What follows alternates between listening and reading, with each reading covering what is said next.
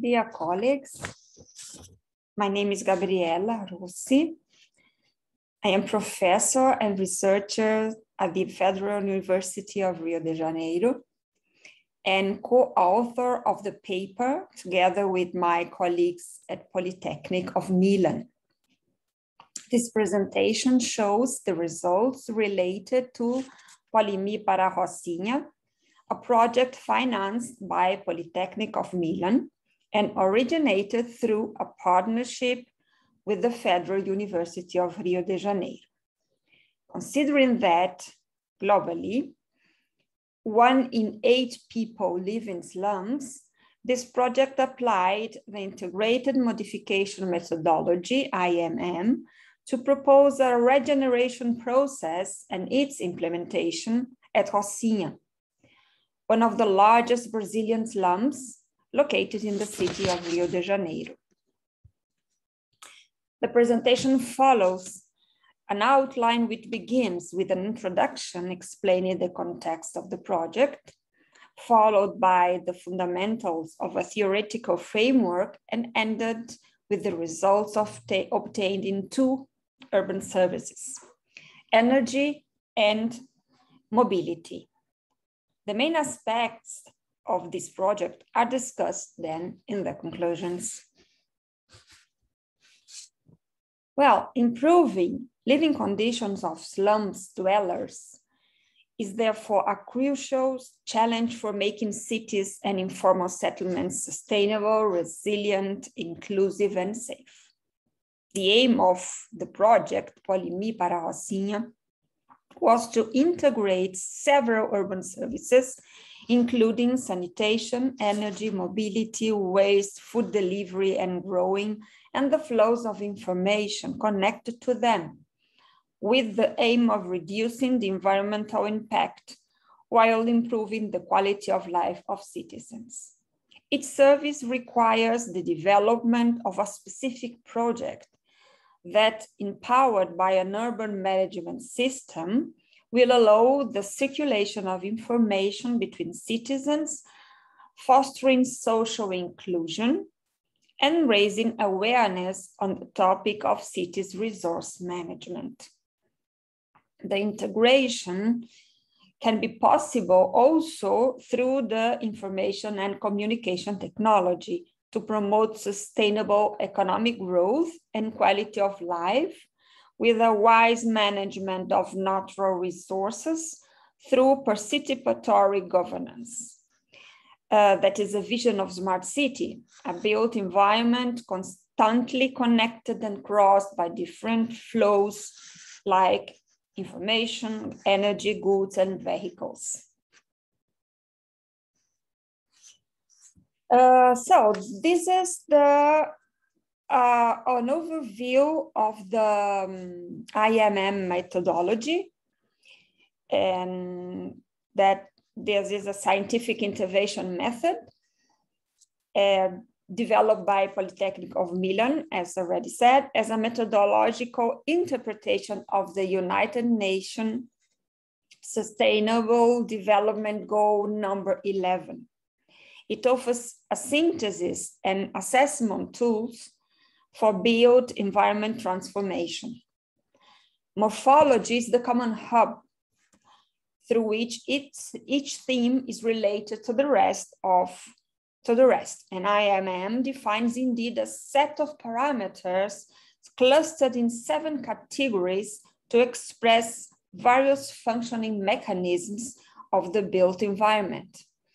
They are porosity, proximity, diversity, effectiveness, accessibility, permeability, and interface.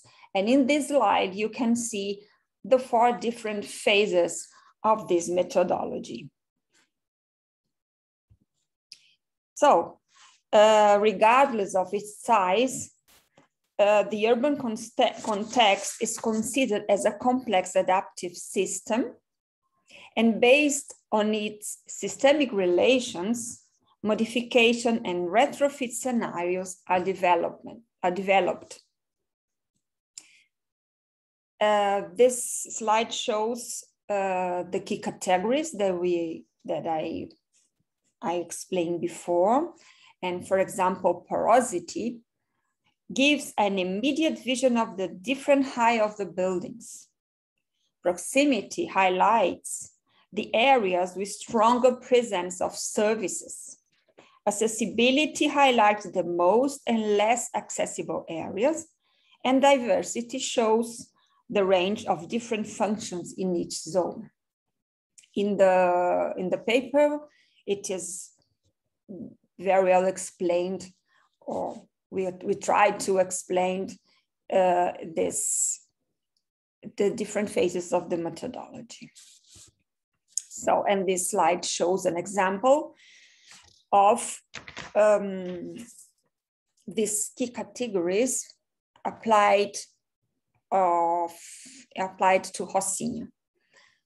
Um, this is these these are the results of the investigation phase of IMMM and applied already uh, to Rocinha.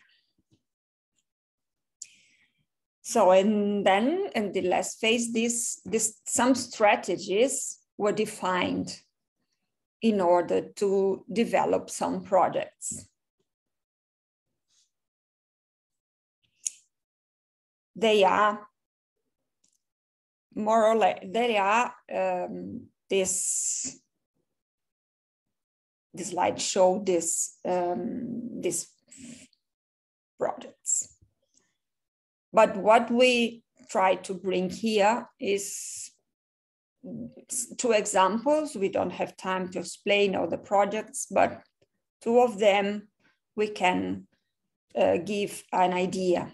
For example, and we choose energy and um, mobility because they are probably the more serious urban problems of the of the um, of the slum, of this, of this area, this community. So about energy, we propose the design of photovoltaic systems to be installed on buildings with more than three floors above ground in a pilot area of Rocinha. And the project aims at exploiting the solar energy incident on the rooftops to fulfill households' electrical needs. The installation of photovoltaic panels may reduce energy thefts inside the community, ensuring at the same time a more stable, legal, and reliable power grid. To maximize energy self-consumption to cover energy use during nighttime and to further increase power grid reliability, photovoltaic panels can be coupled with battery storage systems. And hence, energy stored in the batteries may also fulfill electrical needs at cities level as public lighting, electrical vehicles charging, powering systems for water pumping, irrigation, and purification, for example. In the case of the mobility, although the presence of the São Conrado metro station on the eastern part of the favela that increased the potential of overall accessibility, Rocinha lacks in a mobility system able to smoothen the internal flows and support the subway station for external urban trips.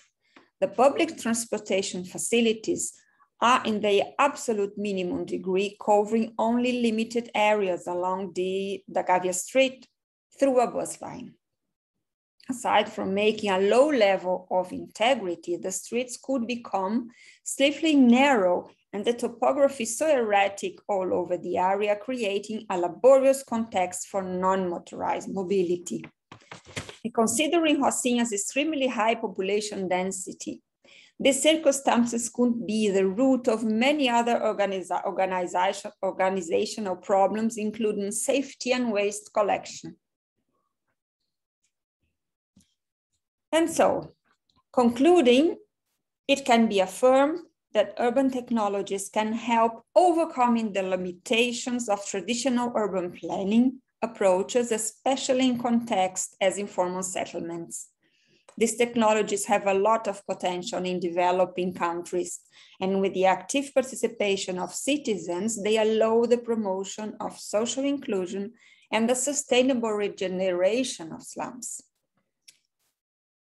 Um, another point is the urban expansion in the next decades will take place indeed mainly in developing countries. And with sound urban planning and management, management, the world's urban spaces can become inclusive, safe, resilient, and sustainable, as well as dynamic hubs, of innovation and enterprise. The monitoring and measurement through management systems able to optimize information and other data flows coming from several urban sectors could be the key to sustainable development of informal settlements. And moreover, ICT can help improving city governance, energy and resources use, delivery of urban services, and creating employment opportunities. The EU uh, urban management system is meant to support sustainable food and goods delivery, electric mobility service, energy usage, waste collection inside slums, as well as to avoid blackouts, malfunctioning of sewage wastewater systems, and to promote social inclusion. The community can benefit of new and more efficient urban services created, implemented and used within the slum that will contribute to shape a new culture on the use of energy and urban services through the active participation of consumers. And thank you very much.